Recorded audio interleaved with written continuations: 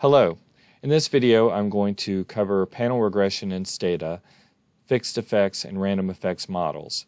Panel regression is used with data that are both cross-sectional, that is, between subjects, and longitudinal in nature. That is, the data are panel data. Specifically, the data are structured such that a cross-section of cases are measured repeatedly on one or more variables. When researchers are working with this type of data, they are frequently focused on modeling predictors of variation in an outcome that has been measured over time. In some circumstances, the predictors are time varying, in others, they're time invariant, that is, the values don't change over time and reflect stable characteristics um, or differences uh, in the cross sectional cases and in others there's a combination of time varying and time invariant predictors. So the first uh, type of model to, that I want to uh, briefly talk about is fixed effects uh, panel model. So fixed effects panel regression is generally used to model time varying predictors of the time varying outcome variable. Regression coefficients reflect the predictive relationships between the time varying predictors and the outcome, all this while controlling for differences between cases on the predictors or other characteristics. There are two general approaches available for carrying out fixed effects regression, a least squares dummy variable approach and mean deviation approach. The least squares dummy variable approach is easily accomplished in Stata by running a standard linear regression, but including the case or subject identifier in the regression model as a predictor, and that uh, case identifier is treated as a factor. The xtreg command, used in conjunction with xtset to specify the data as panel data, essentially carries out the analysis using the mean deviation approach. The regression coefficients, standard errors, etc. for the focal predictors will be the same using either route. However, the latter route, the mean deviation approach, does not involve estimating regression parameters for dummy variables that reflect group membership, and that might be one appealing characteristic of that approach over the least squares dummy variable approach. So moving on, let's talk briefly about random effects panel regression. This particular approach can be used to model the relationship between time-varying predictors of the outcome in the same fashion as fixed effects regression. However, the random effects approach assumes that there are between case differences in the outcome that should be reflected in the model. Between case differences on the outcome are reflected by case specific intercepts that are estimated. In these models, the variance of the intercepts is estimated as a model parameter along with the fixed effects of the predictors and the variance of the residuals. Because these models take into account between case differences on the outcome, they make it possible to incorporate characteristics that vary between cases as additional predictors of the outcome variable. Using the language of multi-level modeling, random effects models allow one to incorporate both level 1 time varying, and level 2, time invariant predictors of variation in the outcome variable.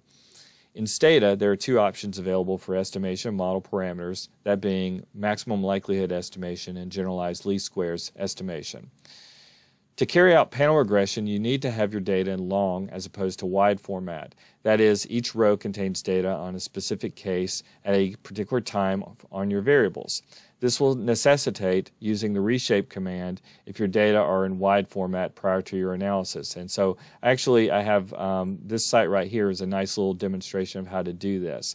And before I proceed any further, let me just note too that this text file will be made available for download underneath the video description along with the data for the examples. So um, you can actually, uh, you'll be able to copy and, and, paste any links that I have in this text file um, once you've downloaded it.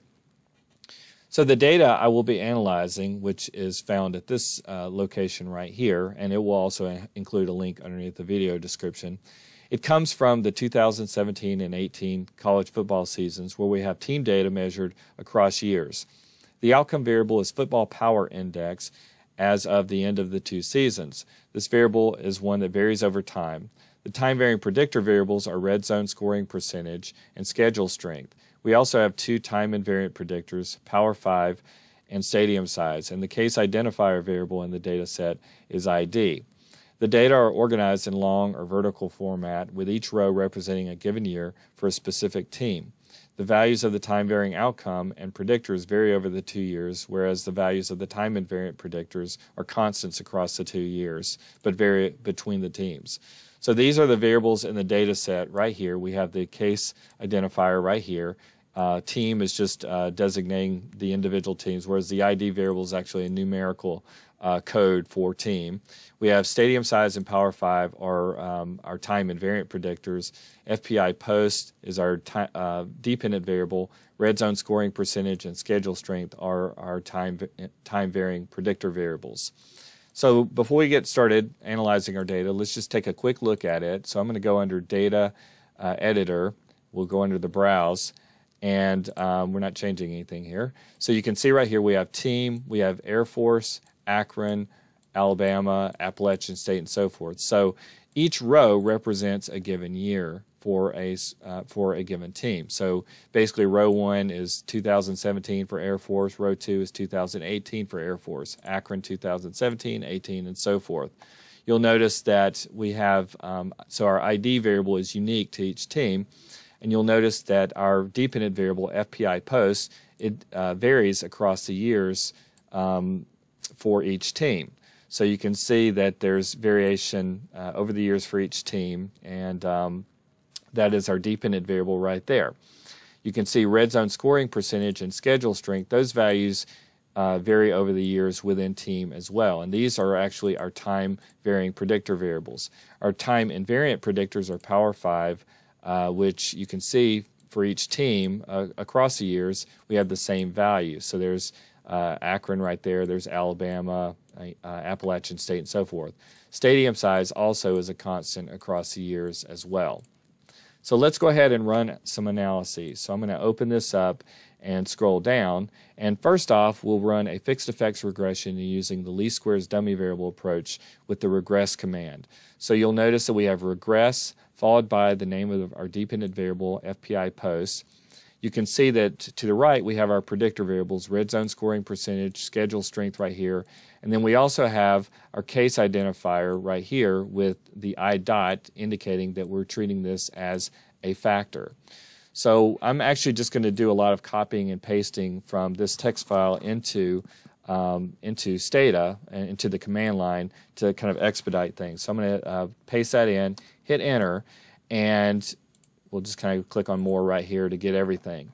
So you'll notice uh, looking at this that we have regression coefficients reflecting essentially comparisons uh, between uh, the uh, individual teams and a, and a um, uh, baseline category, which is essentially the first uh, group, which is our Air Force um, group. And these are really just not particularly um, useful or, or important. These are just, uh, but these are the regression coefficients for all those comparisons. Uh, what's mainly important is as we scroll down, you'll see that we get the regression coefficients uh, right here. These are the regression coefficients, standard errors, uh, the, the um, test statistics and p-values right here for our two focal predictor variables. And so there you go. We've now carried out our uh, regression analysis using the fixed effects dummy variable approach. Um, just kind of FYI, as you sc scroll up right here, you can see we have the R square value. Um, it's very, very high, and that's just reflecting the fact that we um, that we have all of our group comparisons in addition to our two focal predictors. But that's the R square value. Uh, there's the adjusted R square value. There's our F value and, and uh, P value and so forth for the model. But that, again, is using the least squares dummy variable approach. Now, another approach is the mean deviation approach, and we can use the xtreg command to do this. So the first thing you have to do, though, is to use the xtset command uh, in order to let uh, Stata know that we're working with panel data. So I have xt set and then ID uh, indicating our, our uh, case identifier variable. So I'm going to actually just copy this and paste it into the command line as well and hit enter. And so now uh, we're recognizing that we're working with panel data again. So next we have xtreg and then FPI post, that's our dependent variable, followed by the names of our two time varying predictors. And then you'll notice that we don't have uh, ID included as a, a factor anymore. So we're only including our time varying predictors followed by a comma and then FE for fixed effects. So I'm going to copy this and paste it into the command line as well. And there you go. So now you can see, uh, just kind of as a point of comparison, um, our model using the least squares dummy variable approach. These are the regression coefficients, standard errors, test values, p-values, and then down here using the xt uh, uh, reg uh, command, you can see that we get the exact same values. Now, before we continue on, let me also rerun this and let's add in a couple of time invariant predictors. So I'm going to actually just copy this and paste it into the command line and then add um, the stadium size and power 5, comma, and then FE. And what you're going to find when we hit enter is that those two variables are omitted from the model. And that's because the fixed effects model basically controls for differences between uh, the groups. So any time invariant predictors are essentially omitted from the model.